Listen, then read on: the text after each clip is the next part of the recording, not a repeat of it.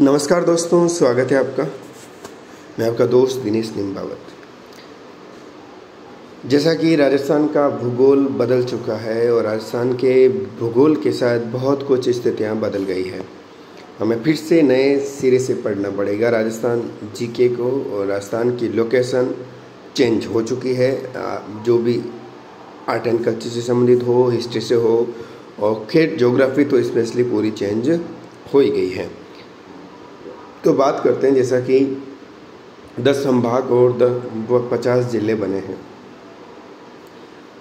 संभागों की इतिहास की बात करेंगे ज़िलों के इतिहास की बात करेंगे। छोटे से वीडियो के माध्यम से आपसे निवेदन रहेगा, चैनल को सब्सक्राइब कर लीजिएगा।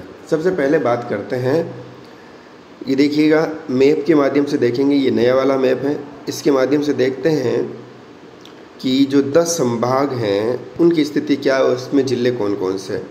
सबसे पहली बात, अक्षांशी और देशांतर देशांतर राजस्थान का वही हैं, ठीक है ना? तेईस डिग्री तीन मिनट उत्तरी अक्षांश से, तीस डिग्री बारह मिनट उत्तरी अक्षांश हो गया, और उनसत्तर डिग्री तीस मिनट पूर्वी देशांतर से अठहत्तर डिग्री सत्रह मिनट पूर्वी देशांतर हो गया, ठीक है? उसके बाद बात करते हैं, अब देखते हैं संभाग जो है एक एक संभाग में कितने कितने ज़िले हैं। तो सबसे पहले उत्तर से ओके चलते हैं। तो इधर देखते हैं बीकानेर संभाग की बात करें। बीकानेर में चार ज़िले हैं। कितने हैं? चार ज़िले हैं बीकानेर में। तो बीकानेर में जो चार ज़िले हैं, बीकानेर खुद हो गया श्रीगंगानगर हनुमानगढ़, अनूपगढ़। ये चार आपके जो ज़िले हैं, वो बीकानेर संभाग में आएँगे, ठीक है? आगे बात करते हैं। इधर फिर सिक्कर की तरफ़ देखें। सिक्कर में भी चार हैं।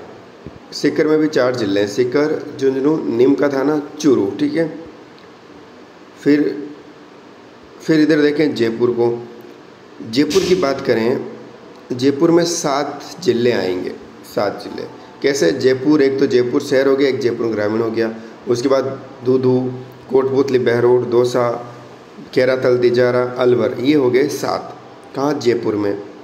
फिर इधर भरतपुर संभाग की बात करें, भरतपुर में छः हैं। कितने छः भरतपुर, धौलपुर, करौली, डी, गंगापुर सिटी सोय माधोपुर। ठीक है? और दूधू इस मैप के अकॉर्डिंग दूधू आपके हो जाता है सबसे छोटा जिला। केर ये सबसे छोटा जिला, सबसे बड़ा जिला, सात अगस्त को जब ऑफिशियली ये लागू हो जाएगा अप्लाई हो जाएगा, राजस्थान का मैप तो उसके साथ राजस्थान की स्टेटिक्स की बुकलेट भी आएगी।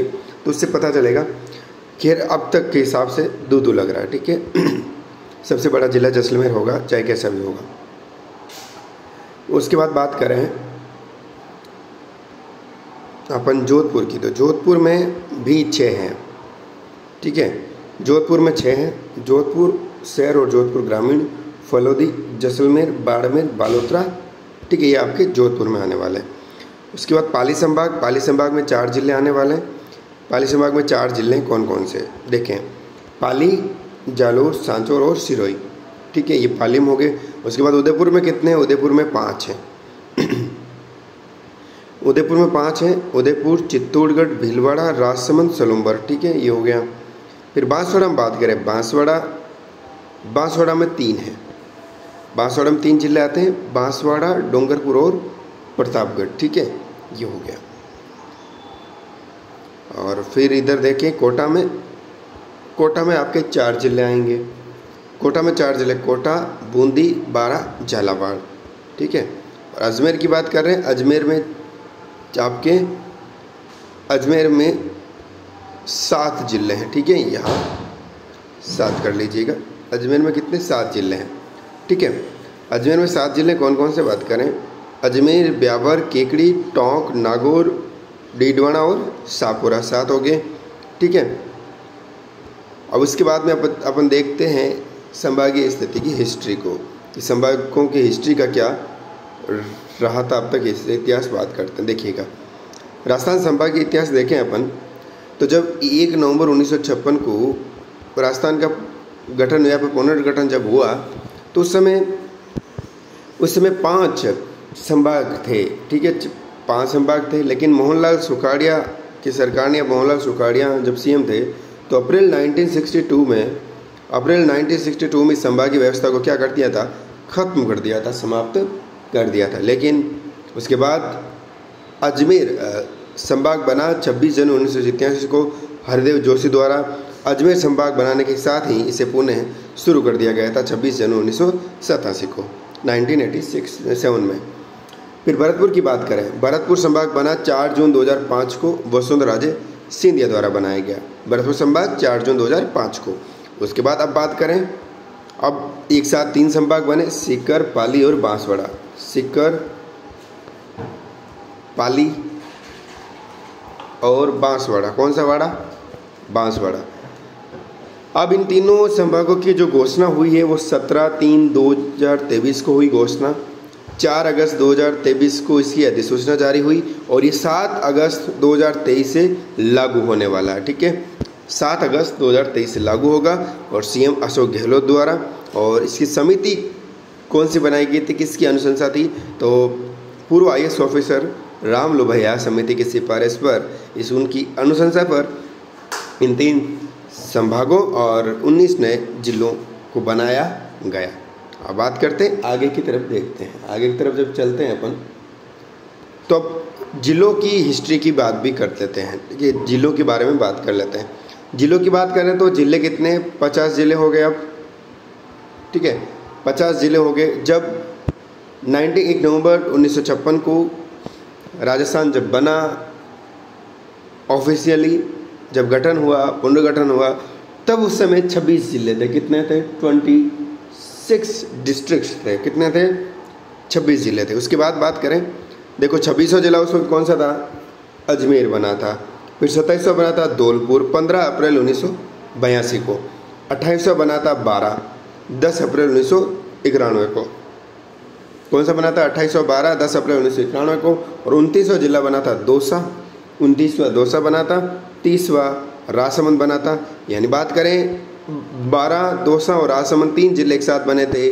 दस अप्रैल उन्नीस सौ इक्यानवे को। दस अप्रैल उन्नीस सौ इक्यानवे को तीन ज़िले बने थे। बारह, दौसा और राजसमंद राजसमंद ठीक है? फिर बात करें, इकतीसवा बना था हनुमानगढ़। कौन सा गढ़ है? हनुमानगढ़। बारह जुलाई उन्नीस सौ चौरानवे को। इकतीसवा जिला बना हनुमानगढ़। बारह जुलाई उन्नीस सौ चौरानवे को बना। बत्तीसवा बनता है आपके करौली बारह उन्नीस, देखिए, बारह जुलाई उन्नीस सौ चौरानवे को हनुमानगढ़ इकतीसवा, बत्तीसवा उन्नीस जुलाई उन्नीस सौ संतानवे को करौली बनता है। बत्तीसवा उन्नीस जुलाई उन्नीस सौ संतानवे को करौली बनता है। फिर बात करें तैतीसवें की, किसकी? तैतीसवें की। तैतीसवें की बात करें तो तैतीसवा प्रतापगढ़ बना। 26 जनवरी 2008 को बना था। कब बना था? 26 जनवरी 2008 को। उसके बाद अब नया अपडेट 19 ज़िले एक साथ नए बने। ठीक है? 19 ज़िले जब एक साथ नए बने तो बात करते हैं। अब देखिएगा इस क्रम में, अब तैंतीस तो थे, अब चौंतीसवा कौन सा होगा, पैंतीसवा कौन सा होगा, इसकी जो बात है, वो हमें पता चलेगी कब? जब ऑफिशियली सात अगस्त से लागू हो जाएगा, आपको बुकलेट भी मिल जाएगी राजस्थान के ऑफिशियल से। ऑफिशियल गवर्नमेंट जब इसको लागू करेगी अप्लाई करेगी तो इसके स्टेटिस्टिकल डिपार्टमेंट डीआईपीआर पर भी उपलब्ध हो जाएगी। उस वक्त हम आपसे साझा करेंगे, इसके बारे में पूरी जानकारी। फ़िलहाल के लिए ये है उन्नीस ज़िले जो शामिल हुए थे। कौन कौन से? जयपुर ग्रामीण, जोधपुर ग्रामीण, अनूपगढ़, बालोत्रा, ब्यावर, डी, केगड़ी, डी डीडवाना कोचम सिटी, दूदू, कोटपुतली, बहरोड खेड़दर तेजाला तिचारा गंगापुर सिटी, नीम का थाना, फलोदी, ठीक है? इसके बाद बात करें सांचौर सलूबर और शाहपुरा। कुल मिला के राजस्थान अब हो चुका है पचास ज़िलों का, दस संभाग का। संभाग कितने हो गए? संभाग हो गए दस। ज़िले कितने हो गए? अरे ज़िले कितने हो गए? ज़िले हो गए पचास। लेकिन अभी ये सिलसिला रुकने वाला नहीं है। जैसा कि राम लुभैया समिति की जो है, उसके कार्यकाल को और आगे बढ़ा दिया गया। छः माह के लिए क्योंकि नए जिलों की अनुशंसा फिर से हो सकती है। लगभग आठ से दस ज़िले नए और बनाए जा सकते हैं। तो फ़िलहाल के लिए राजस्थान का भूगोल हमें हमने आपसे साझा किया। आई थिंक आपको समझ में भी आया होगा। इतिहास की बात की, इसके जिलों के इतिहास और संभाग के इतिहास की बात भी हमने करी। चैनल को सब्सक्राइब कर लीजिएगा। ऐसे प्यार बनाए रखें। हाँ थोड़ा सा सपोर्ट ज़रूर कीजिएगा। नमस्कार।